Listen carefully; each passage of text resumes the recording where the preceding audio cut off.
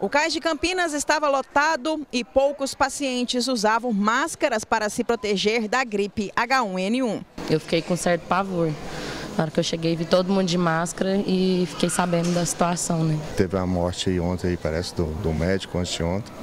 Então é bom prevenir, né? Seu Ivan está com pneumonia. Tô com medo de pedir uma máscara para ela ali. Eu devia dar máscara para todo mundo, né? Porque tá cheio de gente aqui gripada. Segundo a Secretaria Municipal de Saúde, não há motivo para pânico. A situação está controlada e apenas 17 pessoas estão com a doença na capital.